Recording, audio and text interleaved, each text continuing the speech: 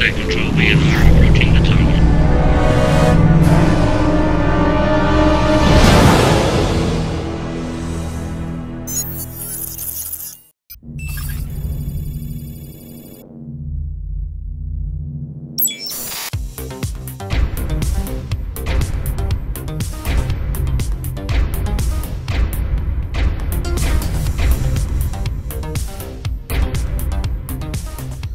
Hi everyone, Vindicator Jones here. Hope you're all doing well in isolation and you and your family are keeping safe. As for me, I'm still not wearing any pants and proud of it. Anyway, moving on. Instead of jumping on the bandwagon and making a video about fleet carriers and uh, all talking about how horrible they are and how the world's going to end, I thought uh, why not make a more positive video and take a look at what makes Elite Dangerous so much fun. And then I remembered an old video I made.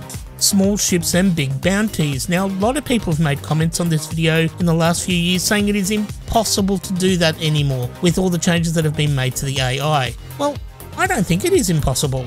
So I decided to ramp it up a little bit, blow the space dust off my old Viper, and massage it a little bit with some engineering. Anyway, this is what I've built. I've put the links to the build down in the description below, and I shall attempt to christen her in the fires of a Hazres. Now, please note, remember it has been about a year since I've been playing Elite Dangerous, so so my meager combat skills have kind of slightly tarnished. But hopefully that'll reinforce this video a little bit more, saying that pretty much if I can do it, anyone can do it. Just another quick note, I'm probably going to edit this video up a bit because I don't want to show combat with smaller ships. I really want to focus on more larger targets. Anyway, enough of waffling on, let's take this into a Hazres and die. I mean win. Okay, moving into this expert level. Just moving into position, trying to get as close as I possibly can. Yep, turning me, that's alright. Should be able to hold my position here. Okay, didn't do what I thought he was going to do.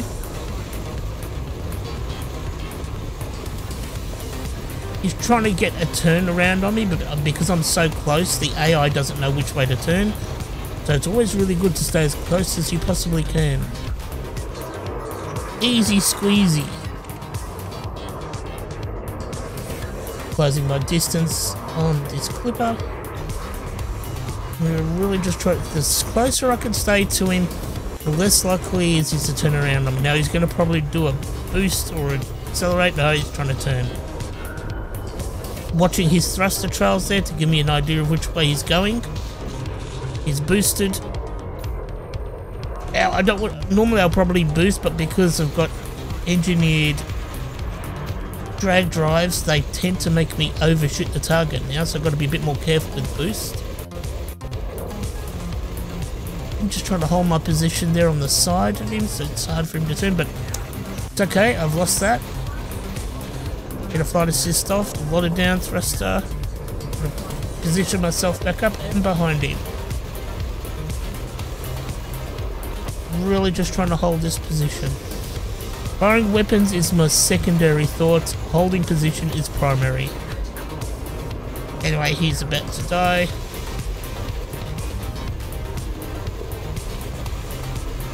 When you're up this close, chaff doesn't really matter. He can fire all the chaff all he wants. He still dies. And just trying to move myself into position right up close behind him. To make sure I don't overshoot him. That's nice and close. Just bad. Plus two hard point locations on the Viper, but because they're right underneath it towards the back, but that's okay. Oh, okay, he's got turrets. Really got to try to keep my... Try to keep as close as I can. He's got lots of SCBs, I assume. But that's okay. Keep fire on him. Just really just got to keep focusing on my position. Using my thrusters, watching his trails. Trying to keep my nose up so my weapons will stay uh, keep fire. Look, I'm losing distance. Gotta try to move in, otherwise he's gonna turn on me. What's a down thruster? He's reversing. I'm just about to outturn him. There we go. Should be able to squeeze him behind him now. Again, losing distance. That's the worst thing you can do. I've got a boost. Try to get get myself behind him, but overshoot because a bit too much booster power. Just really got to uh, balance the boost, otherwise you will overshoot your target, especially with engineered in, uh, drives. Anyway, he shall pop soon. Hopefully we can find something a little bit more challenging.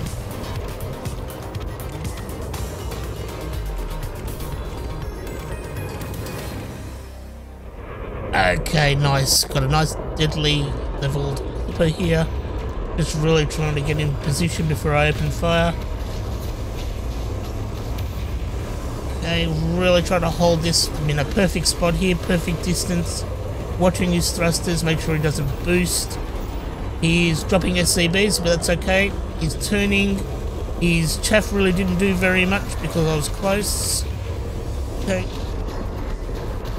Or oh, just really trying to squeeze down behind the target with thrusters, keeping my nose up, allowing me to move forwards and also to use vertical thrusters more effectively to get behind.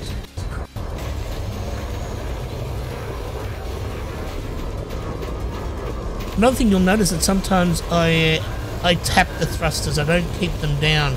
That's because if you hold down thrusters for too long, then you actually start losing forward momentum. Now, that's a mistake because you want to keep as close to your target as possible. Okay, I sort of lost that engagement a bit there. That's okay. Overshooting.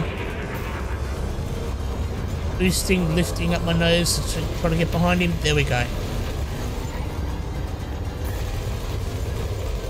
Okay, get a bit closer. There we go. That's where I want to be. My thrusters to hold, really trying to hold my position, self position. Shields will just come back up. That's okay. Really focus. Tapping the down thruster. Tap the down thruster. Yep, turn me. That's okay. Here's a bit of flight assist off. Boost. And hopefully be able to get behind him. Boost again. Try to get close. And anticipate the turn and mess that up completely. That's okay. My mistakes, and learn from them. Okay.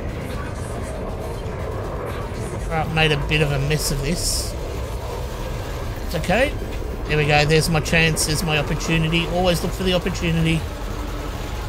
And messed it up again. Really need to work on my pip management. For some reason, I'm wanted. Must have accidentally hit one of the other targets. Anyway, he's dead. Nice. Okay, here we go. An elite leveled python. This should be a nice test. I will have, he has the advantage of firepower, I have the advantage of maneuverability. So let's see if I can hold my position pretty well. Tapping my down thruster there, because I really want to try to move in close. I don't want to overuse the down thruster. He's using his SCBs, he's probably going to have a heap of... Little too close, I've overshot. And messed up that, okay, that I'm going to probably pay for. That I was being careless. I lost my dominant position, now I'm going to try and fight for it back. So I'll anticipate the turn bit of thrust, downward uh, thruster. Sorry, boost, then downward thruster. Overshoot. Uh, that's a problem with engineered drives sometimes. You just overshoot too much. Okay, flight assist off. Hit the boost if I can. Don't have it, uh, I should have pips into engines, doesn't matter. Really want to try to get those shields down. I'll take the damage. Anticipate the turn. Mess that up. Okay, right, here we go. We'll be able to get back now. Uh, down thrust as I boost. Now, I've just got to really make up that distance before he turns on me. That is going to turn on me. So we'll try that again. Anticipate the turn, boost. Overshoot dramatically. That's a problem now with, with slower moving targets when you boost. So I'm going to try to do a bit earlier. Do the turn earlier, get close, boost again. No, didn't work. So I'll do this the old fashioned way. Get it as close as I can. Hit the down thruster. Boost. Try to get behind him. Almost. Hit the thruster again.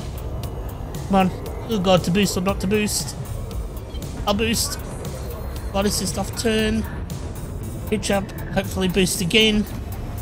That's it. Get the timing right. It's all. Sometimes it's just about the timing of the boost cycle. Okay. Okay, I'm moving back in. I'm working my way back in. Ah, I've lost it. Again. Try to do the early turn. At least I'm getting some fire on him. He hasn't really taken my shields down yet. Here we go. This is perfect. He's moving in slowly. This is what I wanted. Okay, I should be able to get behind him now. Yep, that's it. If you can, drag them back down into the asteroids. They have less maneuverability. This is exactly where I want to be. Uh, him and his SCBs. God damn it. That's okay. If I can hold my position, I'll be fine. Just got to maintain fire. Hold my position. Keep my. Got to try to keep my distance to him. Don't overshoot. He's boosted away, but I don't want to boost because I will overshoot him. Hoping I can get closer to him before he turns. Pull up. There we go, his shields are gone. Uh, he's gonna outturn me, but that's alright. Go around onto his side if I can. Harder for him to turn then. That boost it. Boost. Down thruster. Flight assist off pitch up. Boost.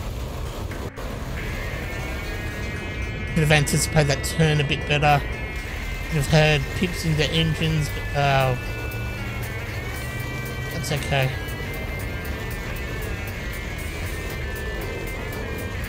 A fair bit of damage.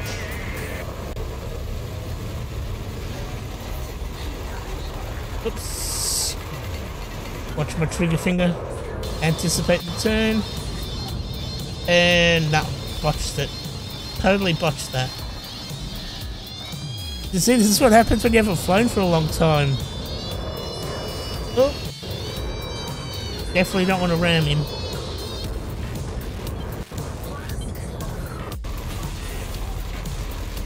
Okay, I'm back where I started. Oh, well, at least he's lost a fair bit of his hull. That's the main thing. Okay, I'm going to really try to creep up to him and put some pips into shields because I don't want to lose my shields if I can avoid it.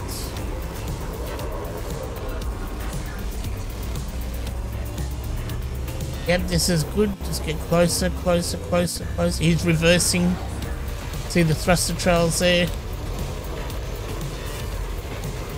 Oh, I've got to put some pips into engines, so really need to maneuverability and to boost. I should be able to hold this out and destroy him. That's okay, I'm just going to take the damage, let my shields drop if they have to. Oops. Alright, I completely messed that up. And overshot.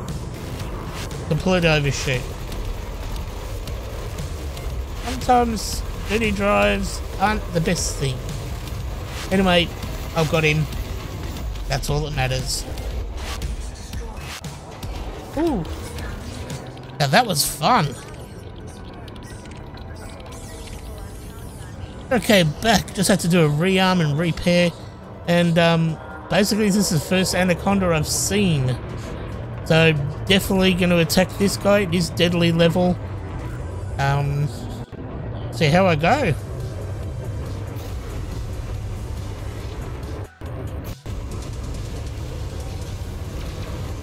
Really? Oh, great. He's got turrets. That's all I need. Okay. Try to stay behind him as much as I can. And below him if I can. That way it's hard for his turrets to hit me. He's dropped chaff, but that doesn't affect me because I'm really close. Just really mindful trying to watch his thrusters because I don't want to overshoot him. And there is boosted, so I've got to keep up with my throttle. Sometimes you get a bit blinded.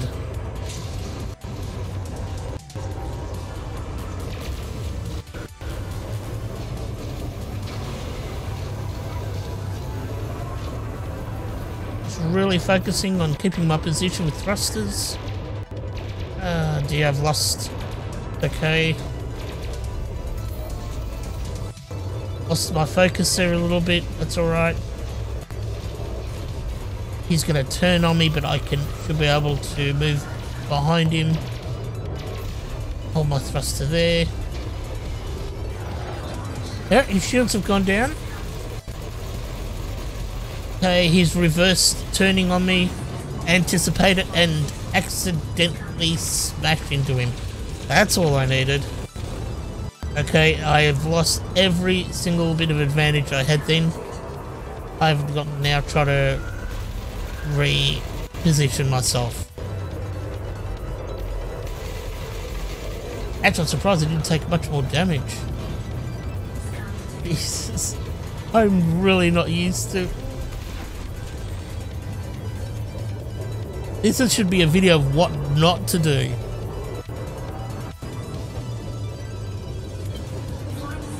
Okay. A focus here. See he's reversing, see his thrusters reverse.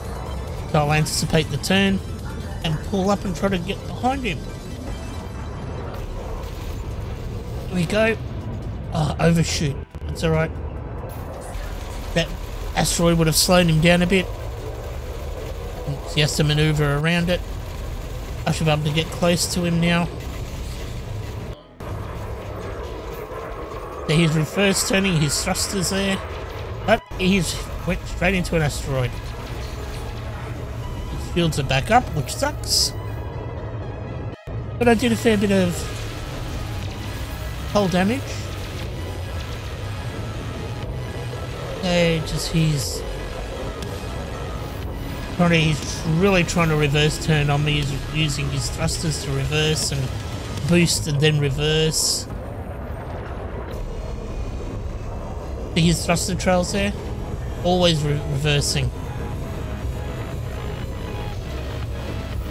Really see his thruster trails there.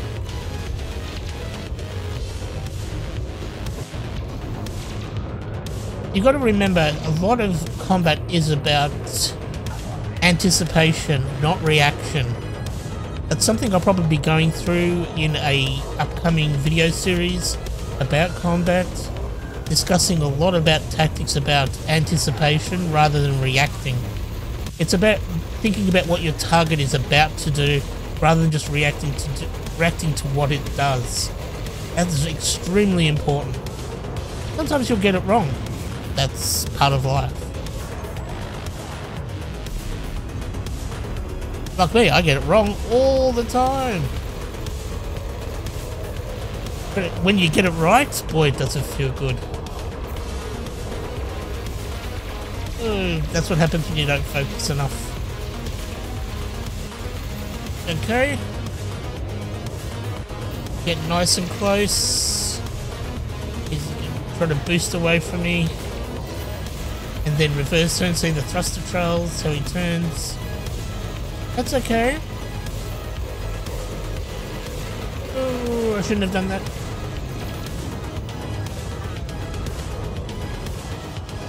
They overshot. Okay, he's almost going to die anyway. So I'll take a bit of damage. So I can get close to him without boosting. Uh, really hope his shields don't come back up, which it probably will. Yes, that's okay. That's right. So his, his thrusters kick in there, trying to do a reverse turn. That's okay. That's what I wanted. Right behind him. I'll be able to take his shields down quite easily now.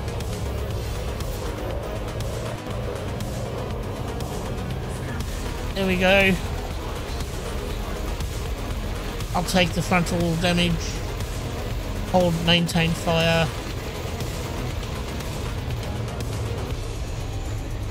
I could put pips into shields, but I'm not going to. I want the maneuverability, and I want all my weapons. He's about to pop. I don't care about the heat. I want the target to poppeth. Almost.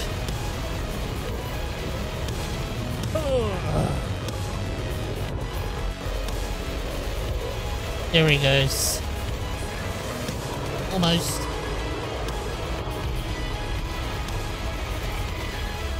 Why won't you die? Ooh, that was close.